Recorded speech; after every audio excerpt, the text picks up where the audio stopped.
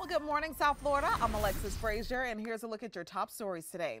Former President Donald Trump hosting his latest rally in Doral, though his VP pick still remains up in the air. Several GOP Florida lawmakers, including VP contender Marco Rubio, warmed up the large crowd ahead of Trump's appearance. The former president using his return to the campaign trail to attack President Joe Biden after their debate has many questioning Biden's ability to govern for another four-year term. Trump headlined issues that Republicans believe they will can win on, including the border and inflation.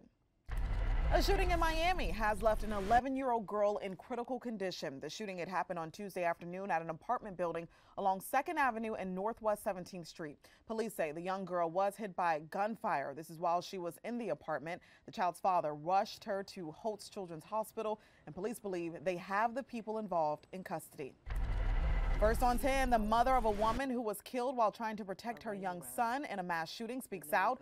Chantrell Holiday says that her 28-year-old daughter, Tiara, was shielding her two-year-old grandson when she was shot and killed outside of a convenience store in Fort Lauderdale. That little boy is now in a medically induced coma.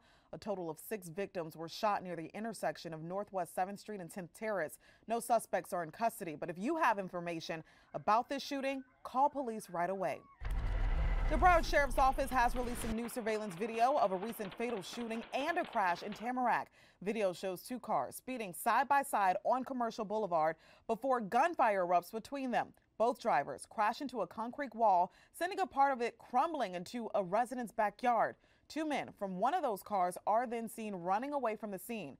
Deputies arrive to find Christopher Mathurin Jr. dead in one of those vehicles. What led up to the shooting remains under investigation.